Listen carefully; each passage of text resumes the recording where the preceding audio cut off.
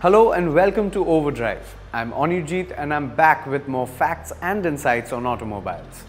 In the previous episodes, we have talked about the basics and understood what's inside the vehicles we drive. If you haven't watched them as of yet, click on the links and watch them now.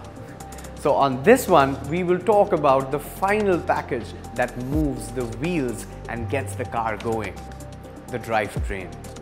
By definition, the drivetrain generally constitutes of the entire setup of the transmission, gearbox, drive shaft, axle and the wheels. The wheels and axle, which is the connector of the two wheels, kind of takes us back to our school physics lessons.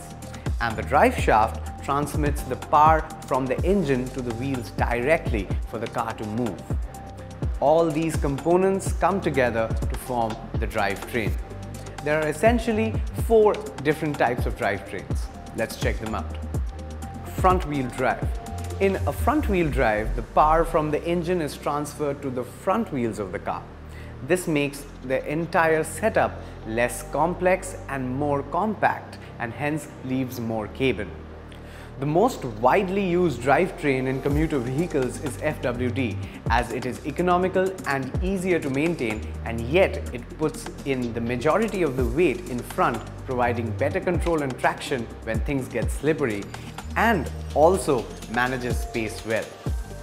Majority of hatchbacks and commuter segment cars generally have FWD drivetrain in them. From the Maruti Suzuki Alto to the Hyundai i20 to the Dzire to the Honda Amaze name it, they all have FWD in them. Rear wheel drive falls under the general category of two-wheel drive. In the RWD setup, the power is transferred to the rear wheels.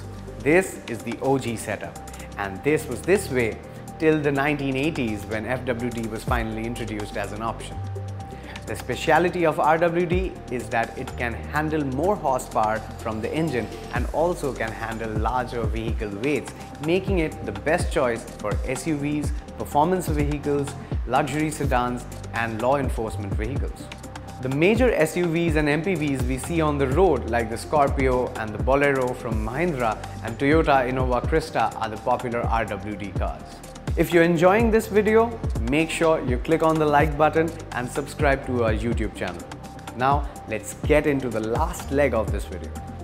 The last part, the last type of drivetrain, the four-wheel drive and AWD. Also known as the 4x4, it is the kind of drivetrain generally associated with SUVs and off-roaders and large vehicles. The drivetrain has a low-range gearbox that reduces the gear ratio to help deliver better torque to overcome obstacles. The speciality of a 4x4 is the manual low-range gearbox which the driver has to engage manually in order to engage on off-road possibilities. Although this isn't of much use in normal road conditions where the car generally functions as an RWD. The advantages of a four-wheel drive only is felt in adverse road conditions and hence it specializes in off-roading and conquering challenging terrain. The Mahindra Thar, Force Gurkha are popular examples of 4x4 vehicles. However, in normal road conditions, the AWD drivetrain serves all purposes. AWD means all-wheel drive. An all-wheel drive system employs a front, rear and center differential to provide power to all four wheels of the car, permanently or part-time. In some vehicles, the AWD comes as an automatic or part-time system where it functions like a FWD vehicle with added boosts of power to the wheels to tackle traction and enhance performance. The AWD system helps in better traction and enhanced performance yet is much lighter than a 4x4 system and this has led it to be adopted by most performance car manufacturers like the Porsches and the Lamborghinis. Interestingly, AWD options are now available in commuter vehicles too, with the Mahindra XUV 700, Hyundai Tucson and Toyota Fortuner being popular examples. That's mostly it for now about the different types of drivetrains.